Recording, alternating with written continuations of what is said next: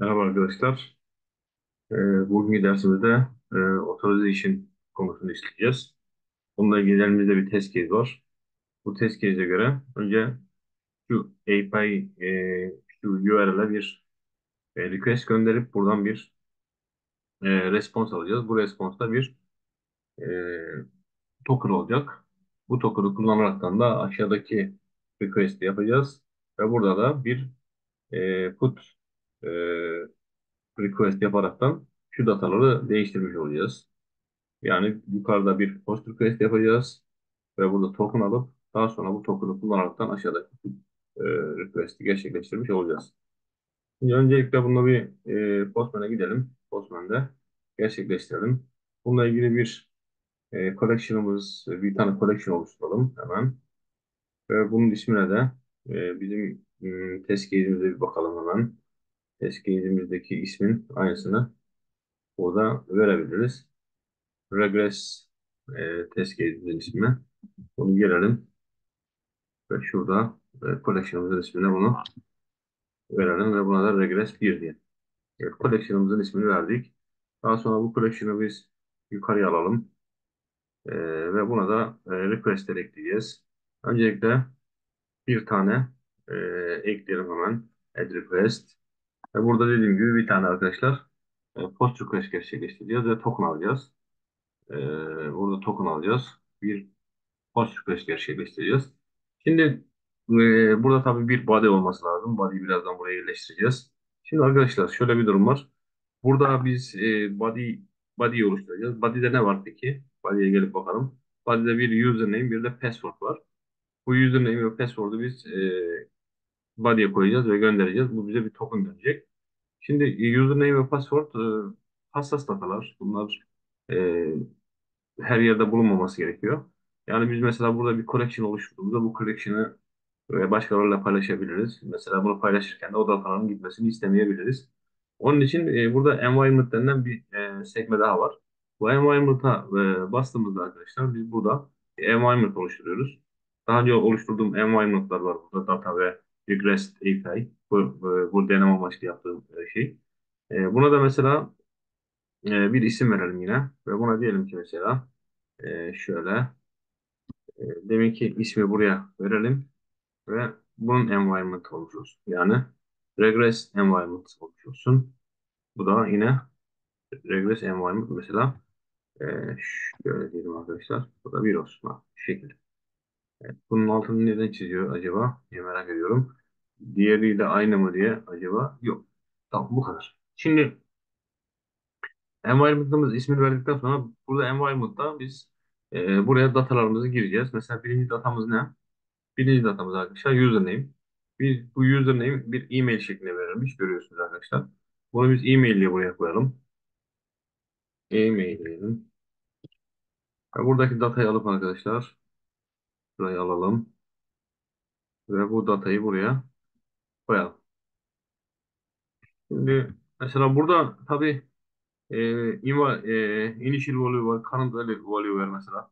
Bunları e, bunlar şöyle şöyle şeyler arkadaşlar. Mesela biz bunu e, herhangi bir put request işte herhangi bir sorgu yaptığımızda buradaki datayı da değiştirebiliyoruz daha sonrasında. Eğer buradaki data değiştiyse e, önceki data neydi, sonraki data ne oldu gibi mesela buralarda görebiliyoruz. Bu datayı değiştirmeyle ilgili de e, yine e, testlerimizde göstereceğim inşallah.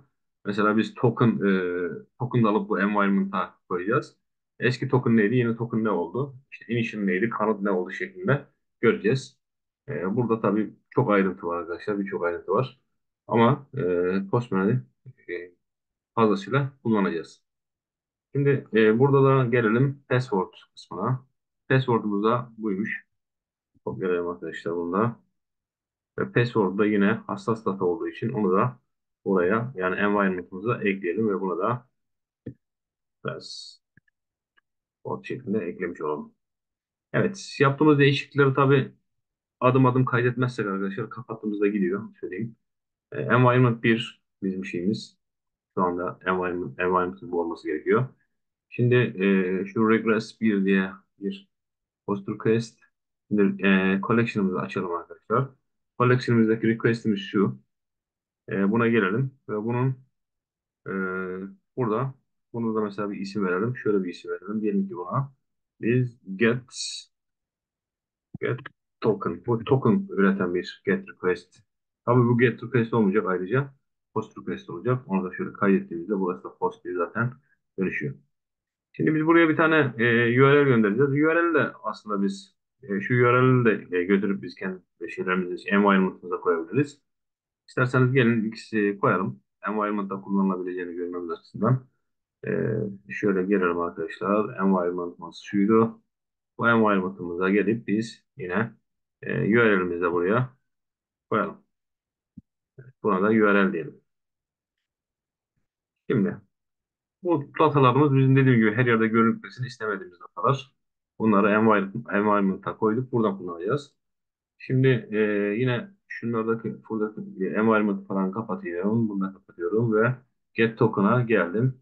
Şimdi burada öncelikle e, body'mizi gönderiyorum. Bakın arkadaşlar environment'tan eğer bir data kullanmak istiyorsanız çift e, çift e, şey açmamız gerekiyor arkadaşlar. Süslü parantez açmamız gerekiyor ve kapatmamız gerekiyor. Buraya şöyle süslü parantez açtığımda arkadaşlar şöyle aşağı doğru ineyim bakayım. Benim şeyler burada mı? Şimdi ben buraya mesela URL yazayım. URL evet. İki tane süslü parantez açayım. İki tane süslü parantez kapatalım. Ve şimdi burada URL yazdığımda çıkmıyor. Neden çıkmıyor? Çünkü biz environment'ı daha burada seçmedik. Bakın. Hangi environment'ta çalışıyorsanız o environment'ın burada seçili olması gerekiyor. Ee, bunu nasıl seçeceğiz? Buradan seçebiliriz. Peki. Buradan seçebiliriz. Veya environment'ları açtığımız zaman oradan da e, seçilebilir. Yani hangisi aktifse burada zaten tikli şekilde geliyor. Mesela diğerini aktif hale getirirsem bakın orada da değişiyor, burada da değişiyor.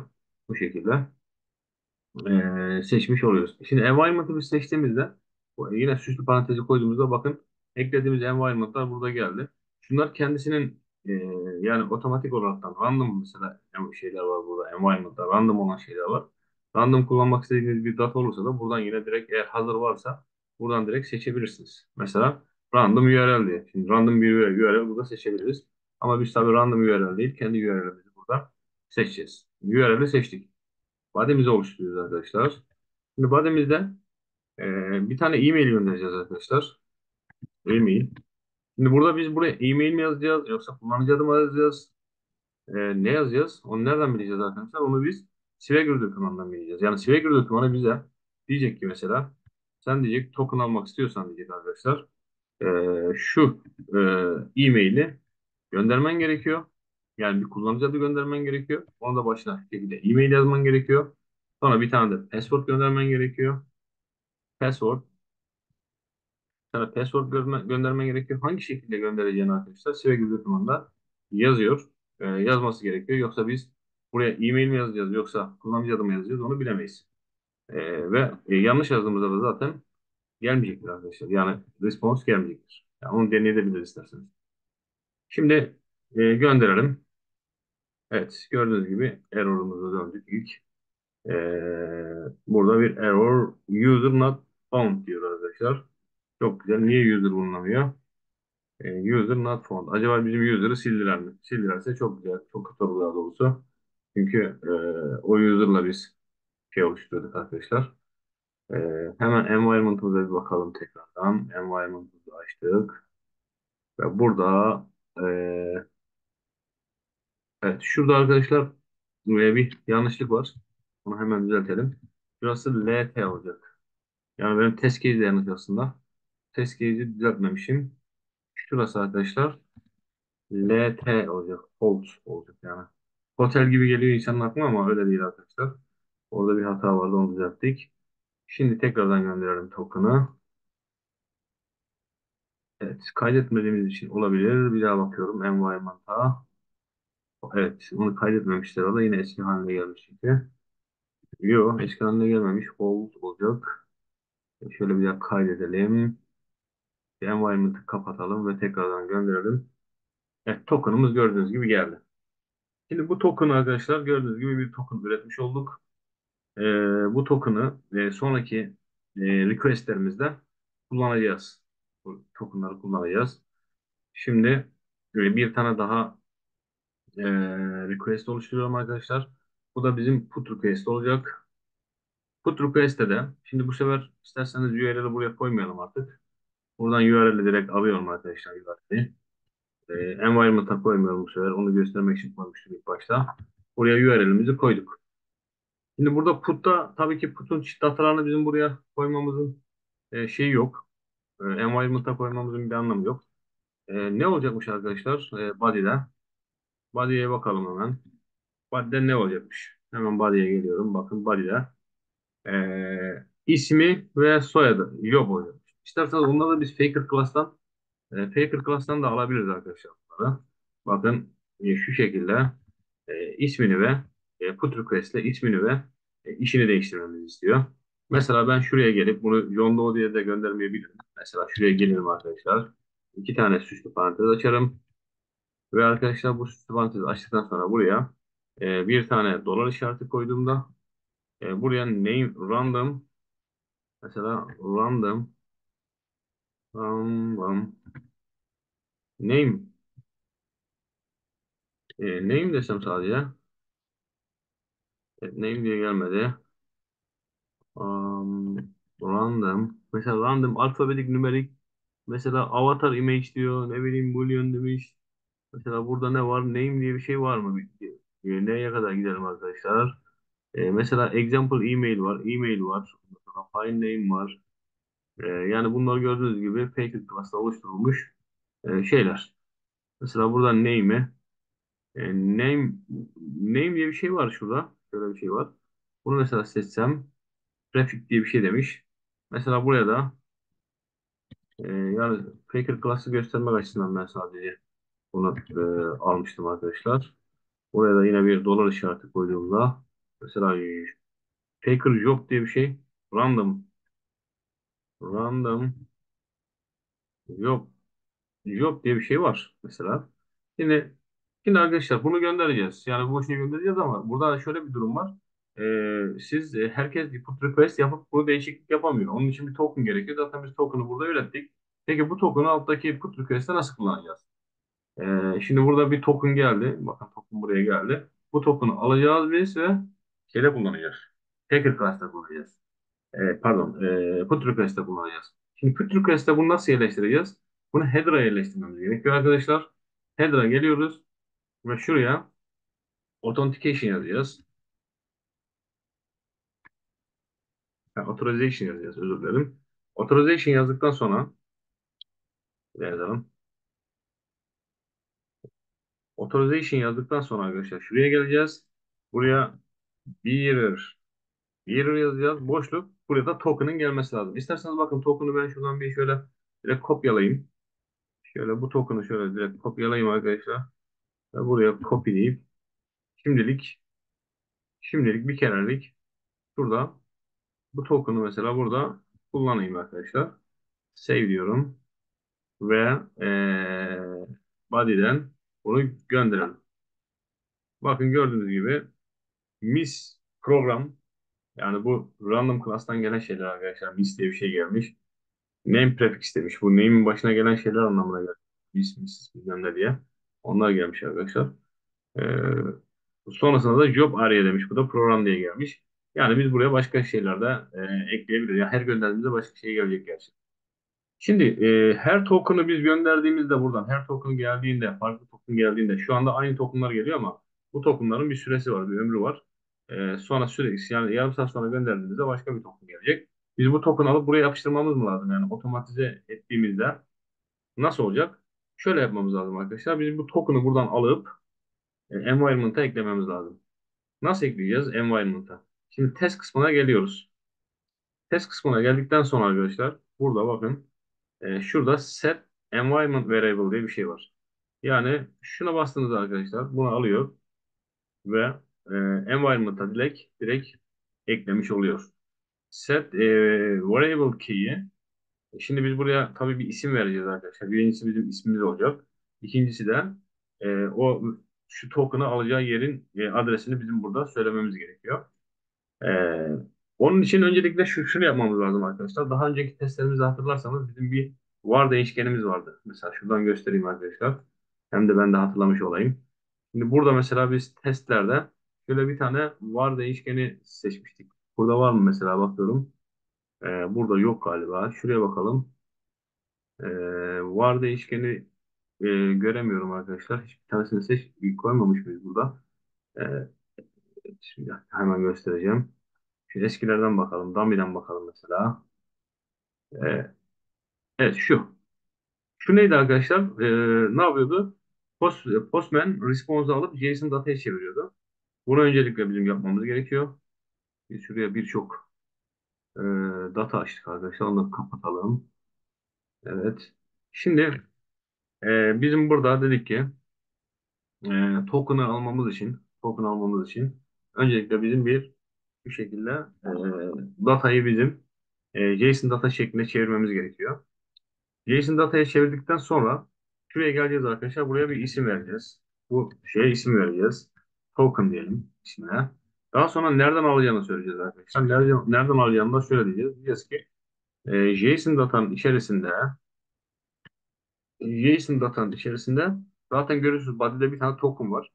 O token'daki token alıyoruz. Şuraya alıyoruz. Bu kadar. Şimdi önce bunu bir çalıştıralım arkadaşlar. Çalıştığını görelim. Ondan sonra yine konuşalım beraber üzerinde. Ee, kaydediyorum arkadaşlar. Ve kaydettiğimde şimdi bakın gelelim. Environment'a bir gelelim. Environment'ımıza geliyoruz. Şurası environment'ımız. Environment'a geldiğimizde gördünüz mü? Token'ı almış buraya JSON token diye koymuş. Tabii bunu niye JSON token diye koydu? Parantez içinde bir JSON token yazdığımız için şurası e, şu tırnaklar burada olmayacak arkadaşlar. Tırnağın içindeki şey direkt almış. Bu şekilde olacak. Evet. Bu şekilde olduğunda bir daha kaydedelim. Bir daha gönderdiğimizde. Şimdi environment'a gelelim arkadaşlar. Gördüğünüz gibi token'ı aldı buraya yerleştirdi. Çok güzel. Her gönderdiği, her çalıştırdığımızda token alıp buraya environment'a yerleştiriyor. Daha sonra biz put request yaparken arkadaşlar diyeceğiz ki header'ımıza geldiğimizde şuraya yazdığımız authorization vardı ya şurası. Buraya geliyoruz arkadaşlar. Şimdi ben oradan token alacağım. Şimdi environment'tan token alacağım. Environment'tan token'ı alıyorum arkadaşlar. Token burada bakın. Şu. Evet token alıyorum. Şimdi bunu da kaydettim. Şimdi olay şu arkadaşlar. Ee, collection'a geldiğimde e, şunları kapatalım artık. Oradan kopya çekmiştik. Şimdi ben mesela bu e, şunların hepsini kapatayım. Şimdi ben mesela burada bir tane e, collection oluşturdum. Bu collection arkadaşlar ben toplu halde hepsini beraber run collection dediğimde bakın run collection dediğimde iki tane görüyorsunuz request var burada. İkisini aynı anda çalıştırabiliyorum. İkisini aynı anda çalıştırdığımda Önce post request çalışıyor. Gidiyor token alıyor. Sonra put request'e geçiyor. Put request, put, e, post request'in e, oluşturmuş olduğu token alıp kendisi kullanıyor arkadaşlar ve ondan sonra da put request'i oluşturmuş oluyor. Şimdi bu şekilde çalıştırmanın mesela run again var. Bu şekilde çalıştırmanın avantajları çok arkadaşlar. Mesela nedir avantajı derseniz birinci avantajını söyleyeyim. Run collection dediğimizde bakın buraya schedule ekleyebiliyoruz. Yani ben böyle bir e, test suite oluşturduğumda Buraya e, otomatize edip mesela günde şu kadar saat çalışsın şeklinde e, bir e, takvim koyabilirim. Daha sonra buralarda bazı yapacağımız ayarlarla, özelleştirmelerle arkadaşlar buradan biz e, şey de alabiliriz. Mail de alabiliriz. Herhangi bir hata hata olduğunda o hatayı bize gönder diye. Yani Postman üzerinde aslında biz testimizi otomatize etmiş oluyoruz. Yani Postman hep e, manuel test yapıldığı yer diyorlar ama e, bence burada tabii e, otomasyonda yapılıyor diyebilirim. Ee, bunun dışında peki e, bu şekilde otomatize ettik. Test suite'imizi bu şekilde çalıştırıyoruz. Başka ne avantajı var derseniz. Şimdi şöyle arkadaşlar bunun üzerine bastığımda e, şimdi bu e, test e, işte collection e, açıldığında arkadaşlar bakın şurada bir test çıkıyor. Normalde yani her bir e, request'te test zaten çıkıyordu. Ama buradaki test testi biz collection'a koyabiliyoruz. Yani ben getirip buraya bir test koyduğumda mesela kodun 200 olmasıyla ilgili bir test koyduğumda ve bunu e, bunu arkadaşlar hmm, kaydet e, butonunu göremedim. Herhalde kaydetmemize gerek yok bunu. Şöyle kapatayım tekrardan. Mesela gelip bunu ben şunu çalıştırdığımda e, Run Collection dediğimde çalıştırdığımda arkadaşlar gördüğünüz gibi her bir e, her birinde de e, bu testin çalışması gerekiyor. Tabii testi biz herhalde kaydet, e, kaydetmemiz gerekiyor. Test, test kaydı olmamış. Burada test gözükmüyor. Bir daha koyayım arkadaşlar. Şöyle testi koyduk. Şimdi bunu save dememiz lazım. Evet, her adımda save yapmamız gerektiğini tekrardan hatırlamış olduk. Bunları kapatalım tekrardan. Ve gördüğünüz gibi ben şuradan test suite'i bir daha run collection dediğimde ve çalıştırdığımda e, gördüğünüz gibi arkadaşlar pass pass her ikisine de testi koydu. Şimdi düşünsenize burada 100 tane test olsa ve hepsinde yaptığınız aynı bir e, aynı test varsa hepsinde de aynı testi yapacaksanız getirip arkadaşlar o testi hepsine tek tek eklemektense şuraya eklediğinizde test, tek bir testi buraya getirip eklediğinizde bütün altındaki collection'ın altındaki testlerin hepsine bu testi uygulamış oluyorsunuz. Mükemmel.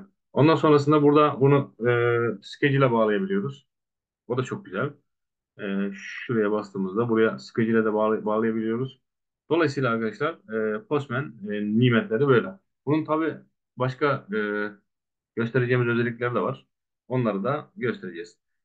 Ee, tabii, tabii ben şöyle e, arkadaşlar sektördeki arkadaşlarla konuştuğumda diyorlar ki ya siz Postman'ın her şeyi bilmenize gerek yok. Sadece post request, get request yap. Orada işte e, yapacağın şeyi bir gör zaten otomatize ediyoruz deniliyor ama yani şunları bilmek e, kötü bir şey mi? Yani bunları bilmek ve uygulamak bence çok değerli.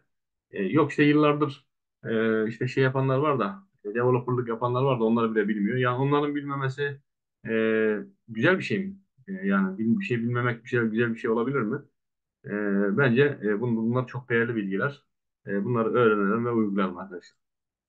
Evet. e, şimdi burada işimiz bitti bizim. Şu, şuna biz arkadaşlar e, isim vermemiz verebiliriz ama isim vermedik.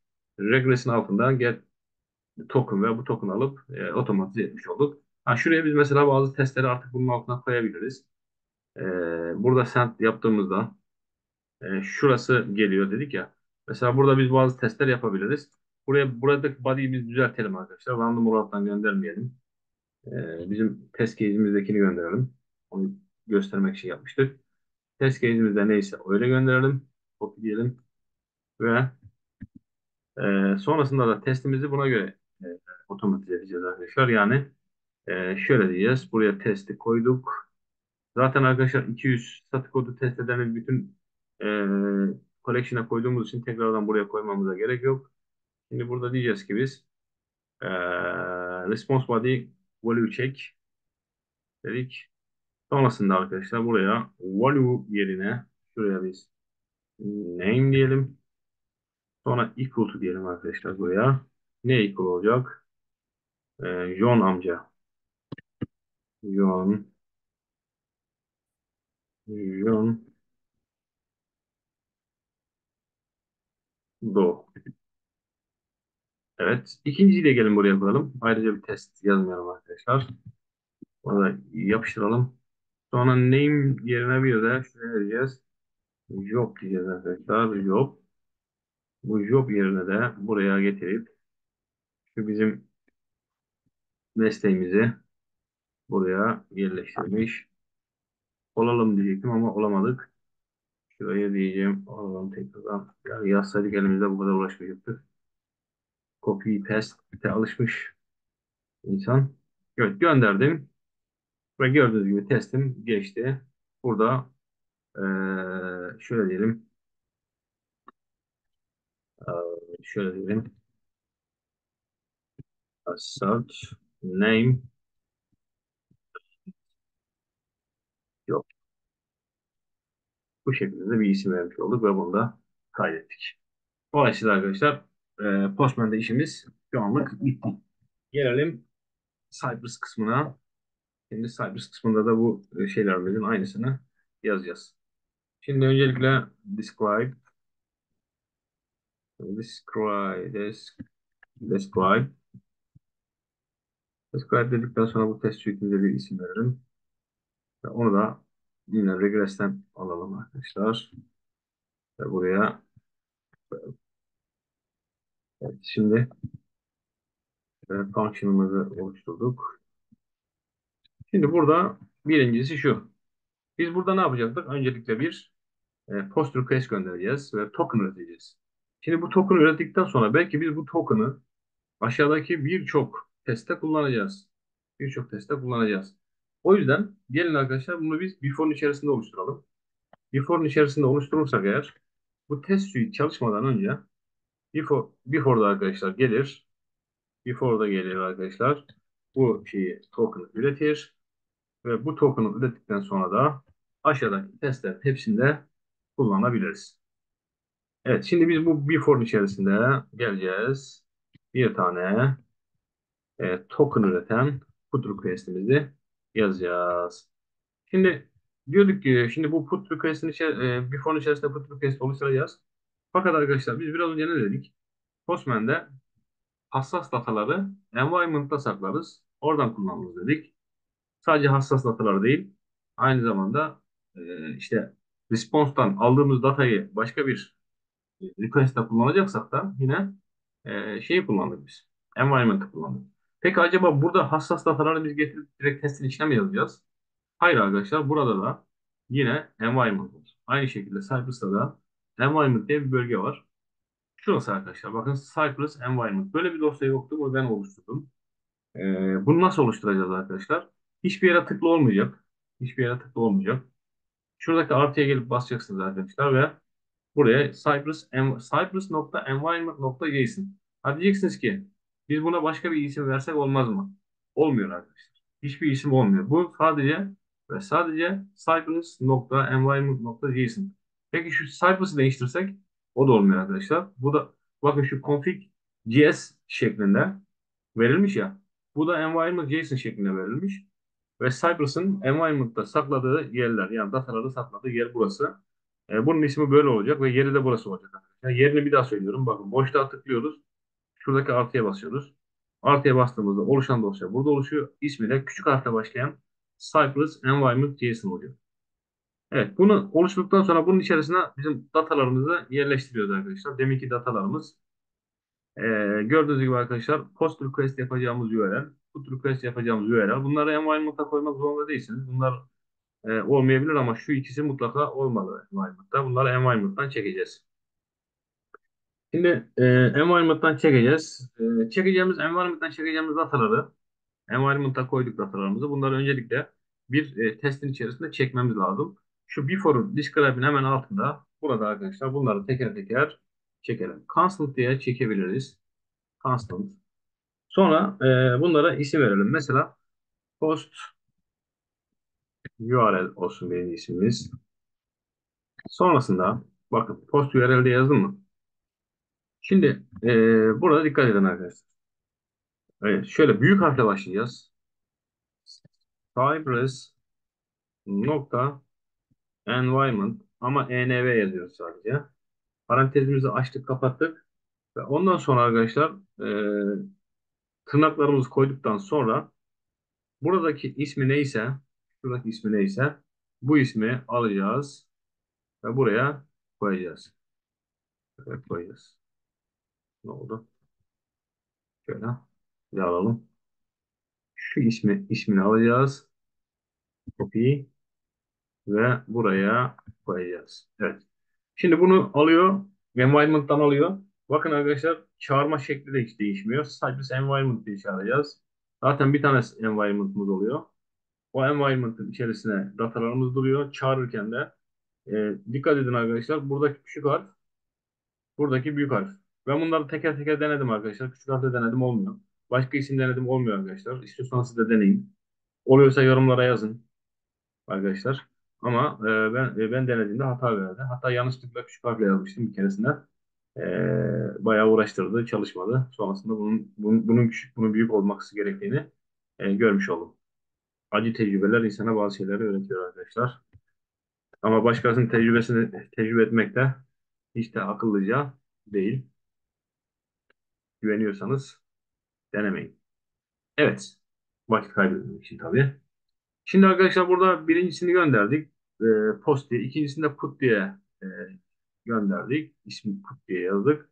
Şuraya da sile, e, şuraya da arkadaşlar şunun yani put request'imizin ismini alalım ve bunu kopyalayıp buraya e, yapıştıralım. Şuraya yapıştıralım. Evet. Bu da put URL olsun. Tabii dediğim gibi bunları e, göndermeyebilirsiniz arkadaşlar. URL'ler environment'ta olmasa da olur. E, şimdi ama bizim mesela e, re- request e, regress email olmalı arkadaşlar burada. E, bir dakika bakalım burası. Evet. Bakalım. Evet, e-mail ile yazalım arkadaşlar buraya. e-mail olsun. Ve burası da şuradaki arkadaşlar isim buraya gelecek. İsim buraya gelecek. İsim önemli arkadaşlar. Buraya isim gelecek. Sonrasında da diğerine de şöyle constant diyelim. Buraya da password. Bakın e, bu bize bir şeyler verdi ama kontrol etmemiz lazım tabii. E, aynısını vermiş? Şunu vermesi gerekiyordu bize. Kopyaladım. Ve buraya da yapıştırdım. Evet. Evet, password'u e, işte göndereceğimiz e, işte API için gönder e, API diyorum özür dilerim. Token için göndereceğimiz e, post request'in e, URL'i daha sonrasında post e, put request'in URL'i bu da kullanacağımız şifreler e, ve e-mail adresleri ve şifreler. Evet şimdi e, before'un içerisinde yapacağız dedik bu işi. Şimdi before'da biraz direkt biz bir tane arkadaşlar ne göndereceğiz? Request göndereceğiz değil mi? Request. Bir tane request göndereceğiz. Peki bu request'imiz ne request olacak? Bu request'imiz, request'imiz bir post request olacak değil mi arkadaşlar? Metod. Metodumuz tırnak içerisinde post. Sonrasında e, URL'imiz e, URL'imiz arkadaşlar hemen buradaki URL bakın zaten geldi. Post URL güzel. Peki arkadaşlar burada başka e, burada body hmm, burada şimdi body yerine body body yazdık. Bir nokta üst üste koyduk. Ve bunu burada arkadaşlar süslü parantezlerimizi açıyoruz. Body'yi koyacağız şimdi buraya. Şimdi body'den e, ne olmalı arkadaşlar? Bir e-mail olacak. Aynı şeydeki gibi. Ama bu e-mail'i bakın. E-mail buradaki e-mail ile aynı olacak. E-mail, e-mail. Bu, bu e-mail yani şuraya şu e-mailin karşısındaki şuradaki e-maili alacak. Nereden çekecek bunu da? Cypress Environment'dan çekecek. Çok güzel. E, ikincisi de arkadaşlar password. Password da password. O da şu. Password da password. Buradan. Evet, password da çektikten sonra şimdi ben buraya nokta den dediğimde ve response dediğimde arkadaşlar bunu kapatalım bu şekilde. Şimdi bu response'un içerisinde ne dönmeli bana arkadaşlar? Token dönmeli değil mi? Onu da ben şöyle yazıyorum. Onu da ben token eşittir diyorum. Eşittir diyorum.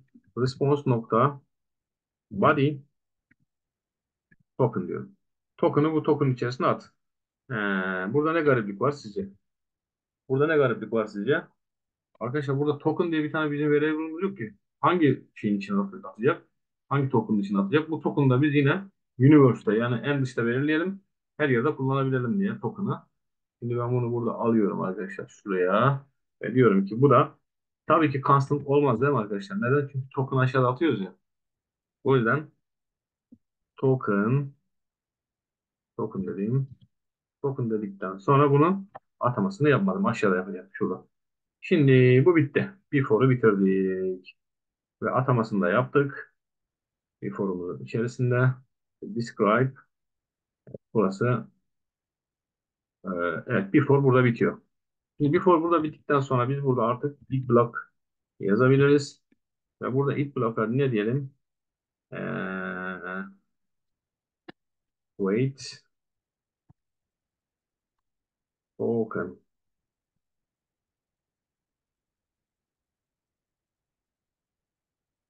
Ya bu credit token, token olur mu? Credit token olmaz da bu credit token olur değil mi? Şöyle buraya yazalım. Credit token. Sonra arkadaşlar burada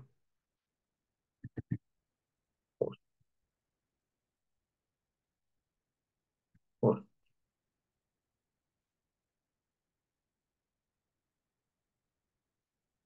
post request. Evet. Şimdi burada biz bu ilk blok içerisinde post request yapacağız. Post request yapmadan önce ben şu token'ı bir görmek istiyorum arkadaşlar dünya gözüyle. Ee, nasıl nasıl görüyoruz arkadaşlar? Log'da e, nokta log dedikten sonra ben buraya direkt token yazsam token'ı log'da görebilir miyim? Types log'da görebilir miyim? Bakalım. Şimdi bunu Kaydedelim. Varsa hatamız düzeltiriz. Evet. Şimdi bunu da burada.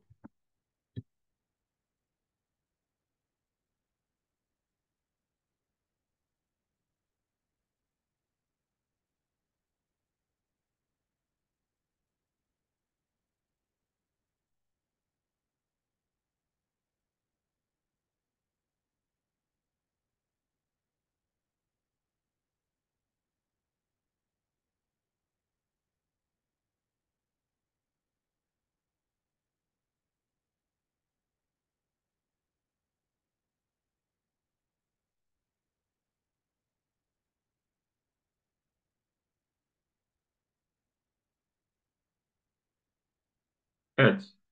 Headshot.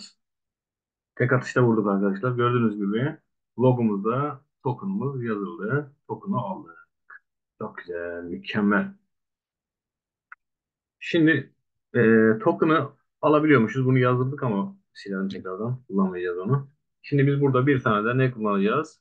Post request oluşturacağız. Request diyelim. Request. Evet, request dedikten sonra şunu kapatalım. Şimdi parantezlerimizde bir sıkıntı yok. Şimdi burada bir post request oluşturacağız. Şimdi evet. Şimdi burada ne yapacağız? Öncelikle metodumuz yine aynı şekilde metodumuz post. Şöyle ne olacak? Hemen post yazdı, postlandırdık ama post değil tabii ki put. Sonrasında e, burada URL'imiz bir tane URL'imiz URL lazım. URL'imiz bu seferki post request. Bak yukarıdaki URL'e biz post request göndermiştik. Bu seferki put request olacak değil mi? Ee, put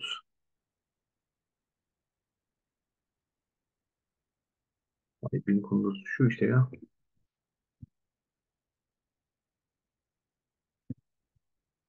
Evet. Şimdi URL'imizi de yazdıktan sonra body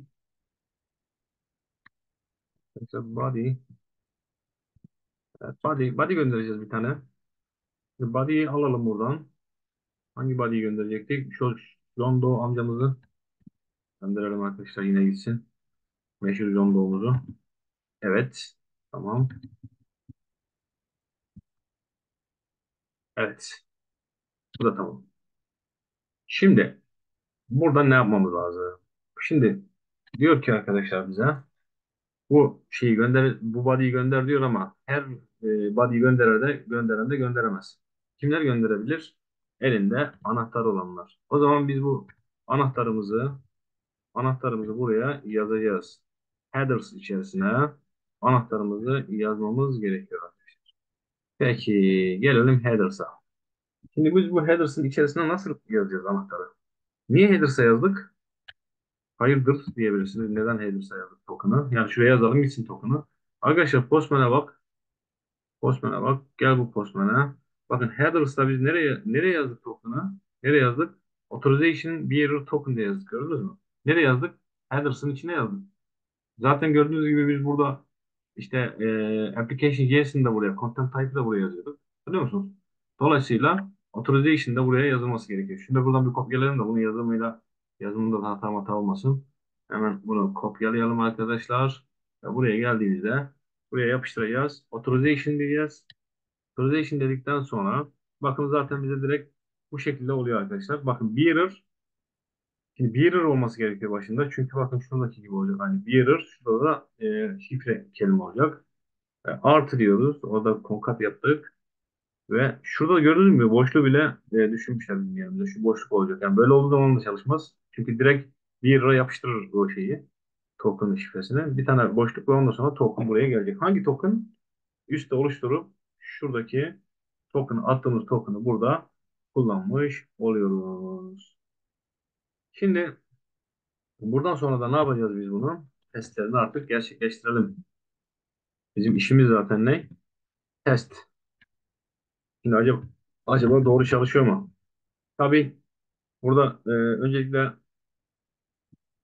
expect. Expect dedikten sonra biz burada e, response'un statüsünü respect e, buna expect yapacağız. E, to nokta equal equal bu 200. Bu bir. İki. Expect. Expect dedikten sonra yine aynı. Response body. Yes. Sonrasında e, name. Ha, response body kalsın. Şöyle yapalım. To have diyelim arkadaşlar bu sefer. To have property kullanalım aynen. Property ne yapıyordu bize? Bu name diye bir e, name diye bir ne var mı arkadaşlar? Name diye bir variable var mı? Varsa varsa arkadaşlar onun testi. Yani şuradaki yaptığımız eee, yani biz burada mesela eee, ne yapıyorduk arkadaşlar? Şurada testi ekliyorduk. Mesela response value check. Evet. Value check, JSON value check var ya. Bu da aynı aynı şeyi yapıyor arkadaşlar. JSON e, datasının içerisinde böyle bir value var mı? Value key şeklinde çalışıyordu yani bizim şeyimiz. E, bizim JSON datamız value key şeklindeydi. Şu property diyor ki böyle bir tane value var mı? Şimdi value varsa o zaman onun değeri onun değeri John Doe mu? İki tane test birden yapıyor. Şimdi benim mantığımı almaya, almaya şöyle bir şey var. Belki söylemişimdir diğer derslerde ama e, John Doe diye, diye isim varsa böyle bir tane de value vardır diye düşünüyorum. Yani şuraya bir name di- diyoruz ya zaten. Eğer şu property'yi koymasaydık zaten buraya name koyacaktık. E, bu name'in içerisinde John Doe'yu arayacaktı. Şimdi onu buraya yazmış olduk. Yani.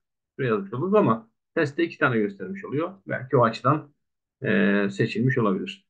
Şimdi bunu kopyalayalım. Ve bir daha yapıştıralım. Buraya da diyeceğiz ki job.